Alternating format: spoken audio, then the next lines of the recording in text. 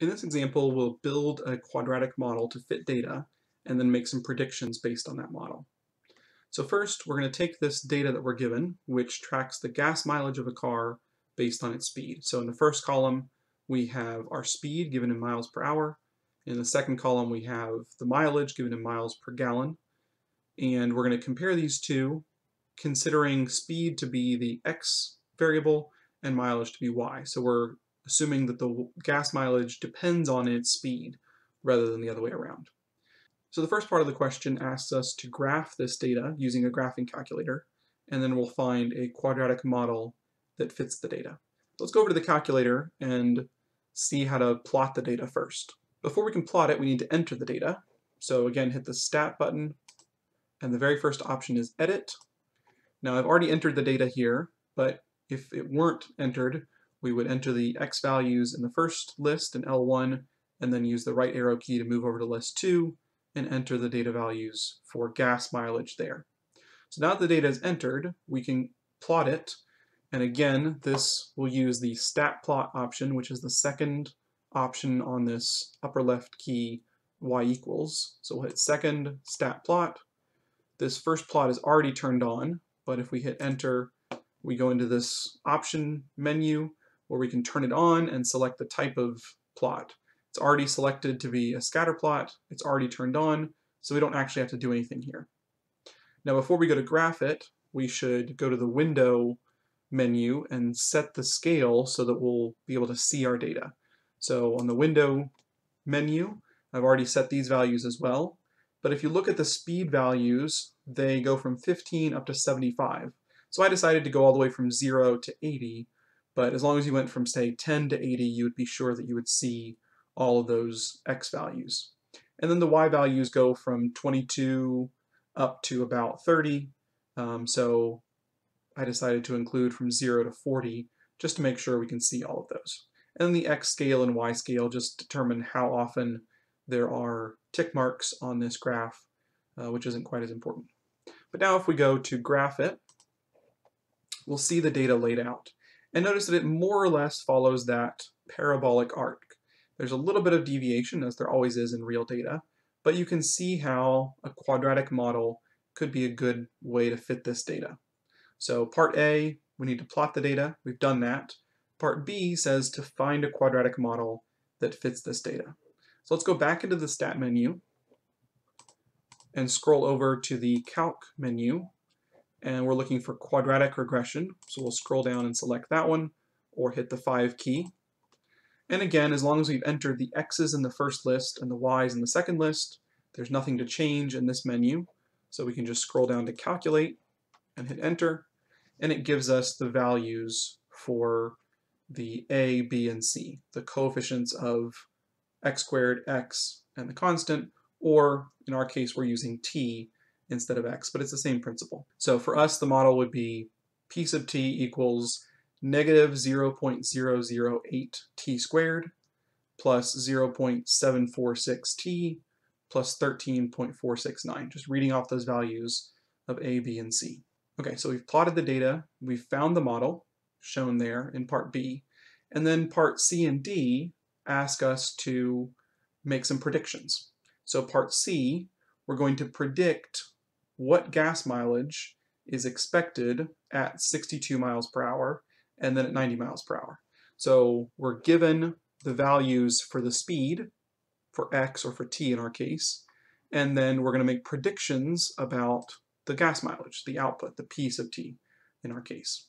Which means we just need to plug in 62 and 90 into our model. So for the first one, we'll plug in 62 and we get an answer of about 29 miles per gallon. For the second one, we plug in 90, and we get about 16 miles per gallon. So we can make our prediction for each speed about 30 miles per gallon and about 16 miles per gallon. Then the question asks, which of these predictions is likely to be more reliable? And in general, the first one is likely to be more reliable because if you look at the data, a speed of 62 miles per hour fits within the range of speeds that we know about. speeds that we've measured. The 90 miles per hour is outside of that range. It would be way up here, and it's not something that we've measured, not anything in that range. So it's less likely that that will be a reliable one. The 62 miles per hour is called interpolation because it's within the range of data that we've made measurements for. The 90 is called extrapolation because it's beyond what we've seen. So the prediction at 62 miles per hour is likely to be more reliable. Without knowing anything more specific, we can make that judgment already. For the last part, we want to predict now in the opposite direction. We're given a mileage, and we want to figure out what speeds are likely to produce that mileage. So for part D, we actually need to go back to the calculator, and we'll plot this model that we've been given, and we'll plot the straight line of y equals 28, and we'll see where the intersections are.